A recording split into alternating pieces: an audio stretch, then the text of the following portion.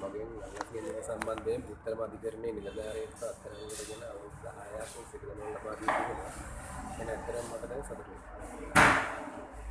Welcome back to learn law Sri Lanka நான் உங்களோட சட்டத்தரணி நதிஹா அப்பாஸ் பஹர்தீன் வளமைக்கு மாறாக இன்றைக்கு நான் உங்களுக்கு ஒரு இன்ட்ரெஸ்டிங்கான ஒரு கேஸ் ஸ்டடியை கொண்டுட்டு வந்திருக்கிறேன்.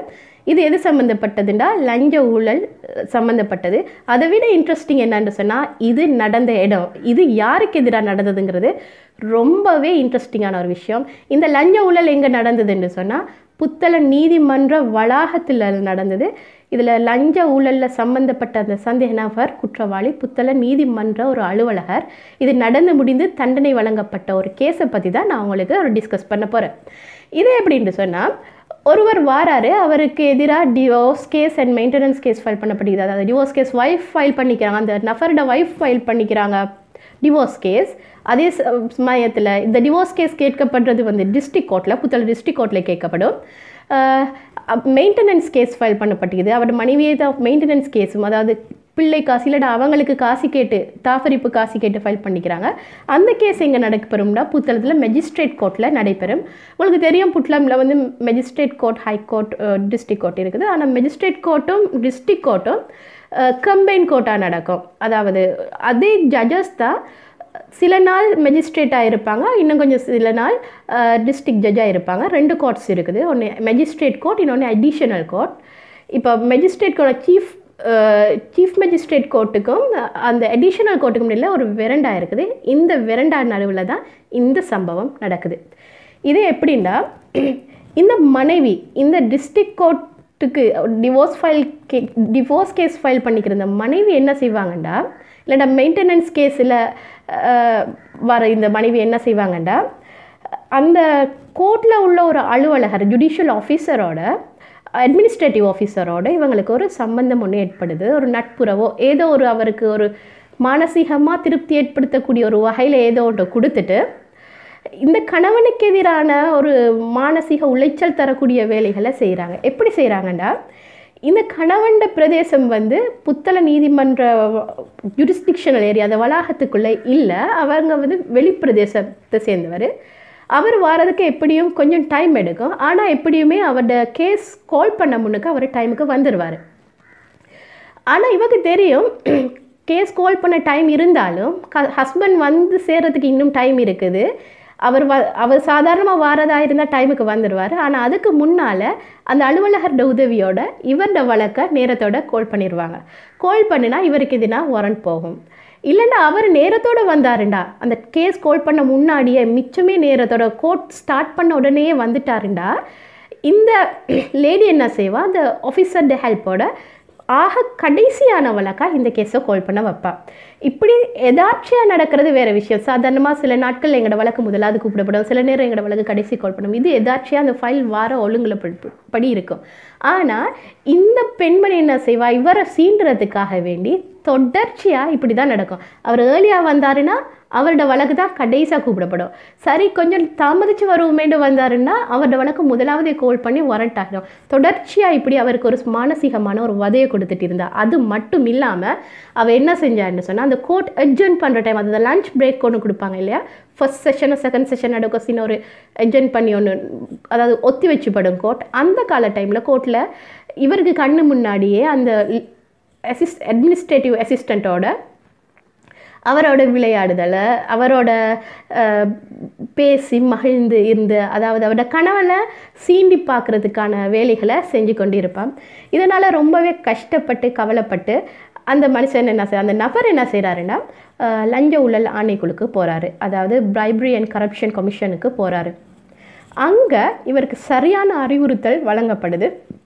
அவங்க விஷயத்தை கேட்குறாங்க அவங்க இவருக்கு விளக்கப்படுத்துகிறாங்க இது வந்து லஞ்சம் ஊழலோட சம்மந்தப்பட்டது அப்படியாண்ட அந்த ஆஃபீஸர் கட்டாயம் பா தண்டிக்கப்பட வேண்டியவர் சட்டத்துக்கு முன்னால் கொண்டு பட கொண்டு வரப்பட வேண்டியவர். ஆகவே இவர் ஏற்கனவே அந்த லஞ்சத்துக்கு ஊழலுக்கு பழக்கப்பட்டதால் இவர் இன்னொரு தப்பு கூட செய்கிறதுக்கு சான்ஸ் இருக்குது. நீங்கள் இன்ன இன்ன வகையில் செய்யுங்கன்னு சொல்லி ஒரு நல்ல இன்ஸ்ட்ரக்ஷனை கொடுத்து அனுப்புகிறாங்க இவர் போய் அந்த ஆஃபீஸர்கிட்ட போய் கதைக்கிறாரு. எனக்கு இந்த மெயின்டெனன்ஸ் வழக்கில் உள்ள தொகையை கொஞ்சம் எனக்கு குறைச்சி தரணும். என்ன பன்னெண்டாயிரம் ரூபாய் உள்ளதை ஒரு ஆயிரம் ரூபாயை குறைச்சி தரணும். நான் எவ்வளோ வேண்டாலும் செலவழிக்கிறேன் அப்படின்ற ஒரு வேர்டை கொடுக்க அந்த ஆஃபீஸர் ஏற்கனவே நான் சொன்ன மாதிரி அந்த லஞ்ச ஊழலுக்கு பழக்கப்பட்டவர். இவரும் சரின்னு சொல்லி ஒரு நாலாயிரத்தி ஐநூறுரூவா இல்லைன்னா ஒரு ஐயாயிரம் ரூபா காசு கேட்குறாரு இவரும் அடுத்த டைமுக்கு கொண்டு வந்து தார அப்படின்ட்டு சொல்லி ப்ராமிஸ் கொடுத்துட்டு வராரு. இப்போ அந்த குறித்த நாள் வருது.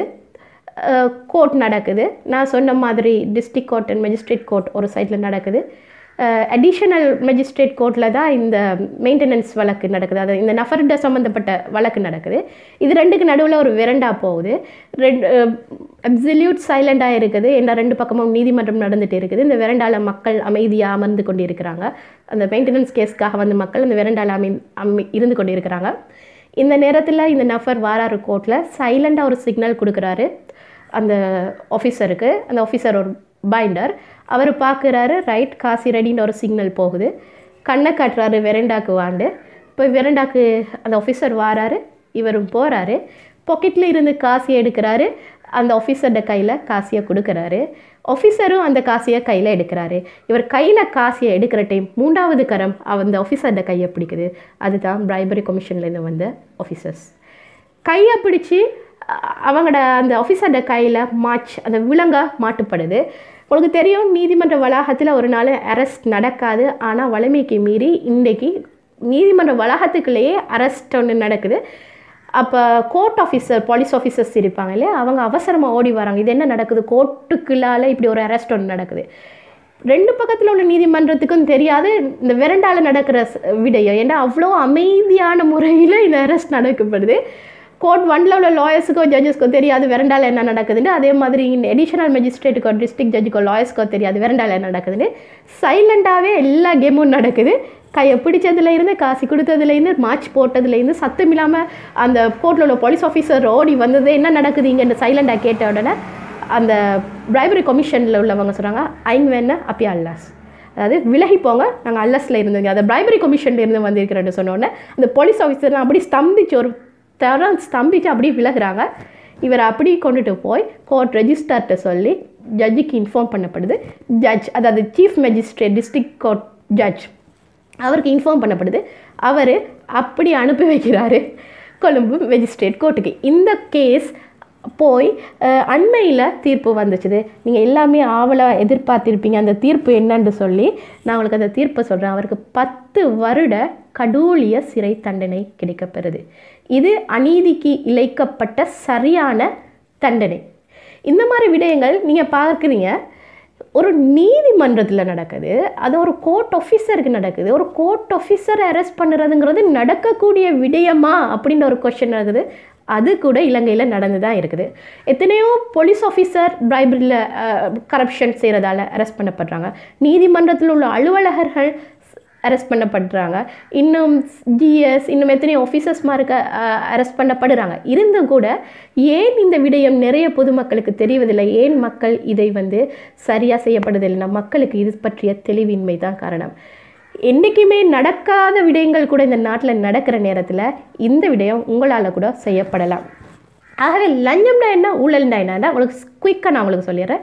லஞ்சம் என்பது அவர் ஒருவர் தனது அரச ஒரு பகிரங்க ஊழியர் ஒரு அரசாங்க ஊழியர் அவருக்கு சட்டத்தால் செய்யப்பட சட்டத்தை மீறி செய்யப்படுற ஒரு வேலைக்காக இல்லாட்டி சட்டத்துக்காக செய்ய சட்டத்தால் செய்யப்படுற ஒரு வேலைக்காக சட்டத்தில் விதித்துரைக்கப்படாத ஏதாவது ஒன்றை பெற்றுக்கொள்கிறது. அது ஒரு பணமாக இருக்கலாம். இல்லாட்டி பணப்பெறுமதியான அசையும் அசையாத ஆதனமாக இருக்கலாம். இல்லைன்னா மனோ இச்சைகளை தீர்த்து கொள்றதுக்கு பாலியல் சம்பந்தப்பட்ட விடயங்களாக இருக்கலாம். இதெல்லாம் வந்து லஞ்சமாகப்படும். இது லஞ்சங்கிறது எடுப்பதும் குற்றம் கொடுப்பதும் குற்றம். இது வந்து பகிரங்க ஊழியர் செஞ்சால் நீங்கள் கட்டாயம் அவருக்கு எதிராக உங்களோட குரலை கொடுங்க. ஊழல்னு சொல்கிறது எதுண்டா? இது கரப்ஷன் இங்கிலீஷில் சொல்கிறது இளஞ்சம்னு சொல்கிறது பிரைபரி ஊழல்னு சொல்கிறது கரப்ஷன் கரப்ஷன் சொன்னால் ஒரு கவர்மெண்ட் சர்வெண்ட் அவர் வேலையை செய்ய அது கவர்மெண்ட் அது அவரோட டியூட்டி அந்த டியூட்டியை எப்படி பயன்படுத்துகிறாருண்டா கவர்மெண்ட்டுக்கு நஷ்டம் ஏற்படுத்துகிற விதத்தில் அவருக்கோ இல்லாட்டி ஒரு தனி ஒரு லாபம் ஏற்படுத்துகிற விதத்தில் செய்வார். உதாரணம் இப்போ உதாரணம் உங்களுக்கு சொல்ல போகிறேன்னா ஒரு ஒரு பப்ளிக் சர்வெண்ட்டுக்கு ஒரு வெஹிக்கல் ஒரு பெட்ரோல் எலவன்ஸில் கொடுத்துக்குது இது கவர்மெண்ட் யூஸுக்கு யூஸ் பண்ணணும்னு அவர் என்ன செய்கிறாரு அதை அவர் ப்ரைவேட்டுக்காக அவரோட ஃபேமிலி ட்ரிப்புக்கு கொண்டுட்டு போகிறாரு இது அவர் கவர்மெண்ட்டுக்கு நஷ்டம் ஏற்படுத்துகிற தனிநபருக்கு லாபத்தை ஏற்படு- ஏற்படுத்தக்கூடிய ஒரு கரப்ஷன் இன்னும் சொல்ல போனேன்னா ஃபாரஸ்ட் டிபார்ட்மெண்ட்டில் உள்ளவங்க சிலர் செய்கிறாங்க அதில் உள்ள டிம்பர்ஸை விற்கிறாங்க அது கவர்மெண்ட்டுக்கு நஷ்டம் ஏற்படுத்தி அவங்களுக்கு லாபம் ஏற்படுத்தப்படுது. இந்த மாதிரி நிறைய அரச கூட்டுத்தாபனங்கள் நடக்குது. இந்த மாதிரி ஏகப்பட்ட கரப்ஷன்ஸ் நடக்குது. இப்போ நாங்கள் பார்ப்போம் இந்த இதுக்கான தண்டனை என்னவா இருக்குதுன்னு. நீங்கள் பார்த்தீங்கன்னு சொன்னால் லஞ்சம் எடுப்பது கொடுப்பது இவர்களுக்கான தண்டனை எப்படின்னா ஏழு வருட ஏழு வருடத்துக்கு விஞ்சாத சிறை தண்டனையை இவங்க அனுபவிக்கணும். அது மட்டும் இல்லாமல் லஞ்சமாக கொடுக்கப்பட்ட ஏதாச்சும் ஒரு பொருட்களாக இருந்ததுன்னு சொன்னால் அது வந்து ராஜசந்தகம் அது கன்ஃபிசிகேட் பண்ணப்படும் அரச உடைமையாக்கப்படப்படும். ஏதாச்சும் ஒரு சொத்தை கொடுத்தீங்கன்னா அது அதுக்கு அந்த சொத்தை வந்து அரசு உடைமையாக்கப்படும். அதே மாதிரி ஊழலுக்காக இருந்ததுன்னா பத்து வருடத்துக்கு குறையாத சிறை தண்டனை ஒன்று கொடுக்கப்படும். பத்து வருடம் கொடுக்கணும். கஷ் கட்டாயம் பத்து வருட சிறை தண்டனை ஒன்று கொடுக்கப்படும். அவ்வளோ ஸ்ட்ரிக்டான லோ இருக்குது. ஆனால் இதை மக்கள் நிறைய பாவிக்கிறது இல்லை இதோட சேர்த்து இன்னும் என்ன தண்டனையாக வழங்கப்படும்னு சொன்னால் லஞ்ச ஊழலில் பாதிக்கப்பட்டவங்க லஞ்ச ஊழலில் குற்றவாளியானவர்களுக்கு அவரோட அரச ஜாப் அந்த கவர்மெண்ட் ஜாப் இல்லாமல் போகும் அவருக்கு பென்ஷன் இபிஎஃப் இடிஎஃப் இது கிடைக்காது. அதோடு சேர்த்து அவர் பார்லிமெண்ட் எலெக்ஷனுக்கு ஏழு வருஷம் வாக்களிக்க இயலாது. உள்ளூராட்சி எலெக்ஷன் சொன்னால் அவருக்கு அஞ்சு வருடம் வாக்களிக்க இயலாது. இப்படி பெரிய நஷ்டவாளி ஆகுவார் ஆகவே உங்களுக்கு கண்ணுக்கு முன்னால் நடக்கிற லஞ்ச ஊழலை தட்டி கேளுங்க.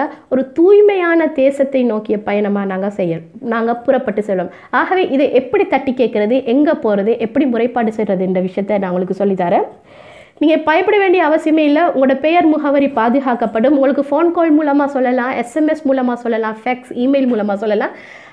டி டிரெக்டாக நீங்கள் போய் கூட நீங்கள் சொல்லலாம். இது நம்பர் தேர்ட்டி சிக்ஸ் மலலாசேகர மாவட்ட கொழும்பு செவனில் இருக்குது இதோட ஆஃபீஸ் டெலிஃபோன் நம்பர் நான் உங்களுக்கு தந்திருக்கிறேன். அதேமாதிரி மொபைல் நம்பர் தந்திருக்குது. ஃபெக்ஸ் நம்பர் தந்திருக்குது. இமெயில் தந்திருக்குது. நீங்கள் போய் நீங்கள் சொல்லலாம். அவங்க இந்த வழக்கில் சொன்னவர் டிரெக்டாக போய் அந்த நான் சொன்ன அட்ரஸ்க்கு டிரெக்டாக போய் அவங்களோட அட்வைஸ் எடுத்து செஞ்சாங்க.